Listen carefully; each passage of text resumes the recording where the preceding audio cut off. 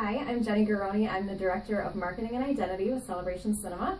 And my Oscar picks for this year for Best Picture is Birdman, Best Actor, Michael Keaton for Birdman, Supporting Actor, J.K. Simmons, and this is the one that I'm most passionate about. I really want him to win because when you're watching Whiplash, you do not see Juno's dad or the farmer's insurance guy or the voice of the yellow M&M.